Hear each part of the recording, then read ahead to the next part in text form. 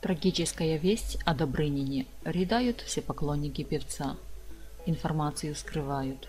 Артист устал петь и плясать. Ему все труднее даются выступления, ибо сил больше нет.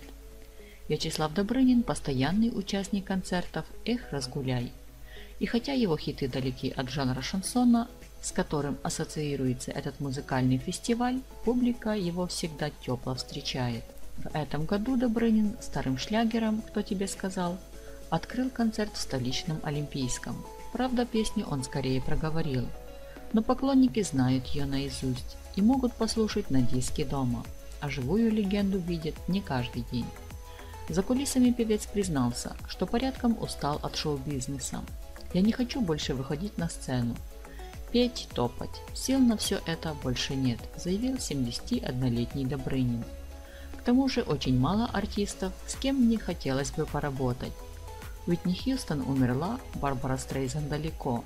Алла Пуачева, которую я знаю с 1971 года, сегодня занимается в основном семьей и поет очень избирательно. На вопрос корреспондента Дниру о том, что же во время нынешнего концерта вдохновило полного апатии артиста, Добрынин в шутку ответил «Напишите, что это было Виагра» а потом добавил.